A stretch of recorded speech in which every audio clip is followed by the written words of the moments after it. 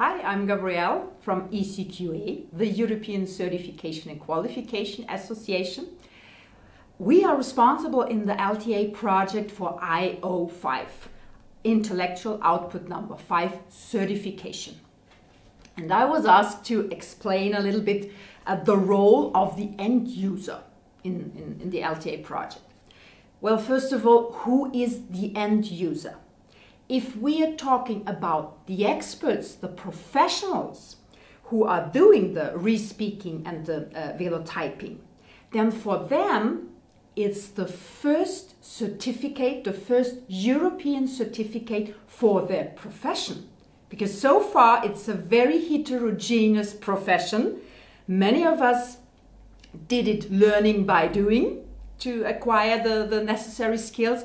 And for the first time, there is the opportunity to have a harmonized so-called skills card, meaning all the skills and competences relevant yeah, at that stage yeah, uh, uh, for that profession.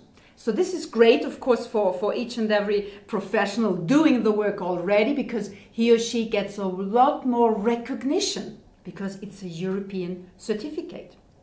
And of course, if we mean as end user, uh, the, the, the people who are using these special services, of course, for them, the service is getting better and better because as soon as we have a quality standard, a European uh, standard, then of course uh, the, the, the, quality of the service is, is raising.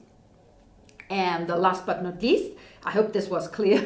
uh, last but not least, uh, I should talk a little bit about our dissemination strategy. This is very important in EU funded projects and it's good, I think, because people should know what we are doing. It's our taxpayers' money, it's our money going to, to funding programs.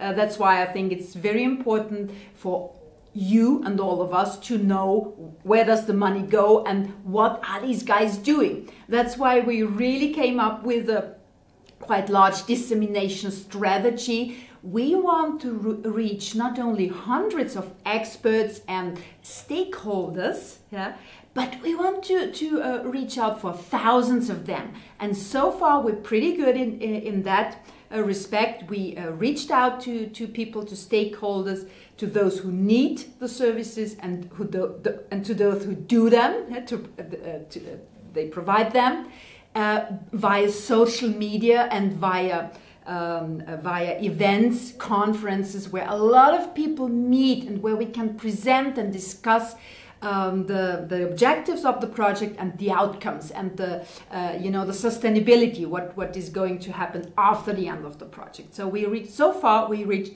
ten thousands of people already. It's, it's really great that we have this social media, uh, Facebook, LinkedIn, YouTube, we Twitter a lot, uh, etc. So if you're interested, please stay tuned. We're very keen on sharing the knowledge and involving the stakeholders and the end users. Thanks a lot.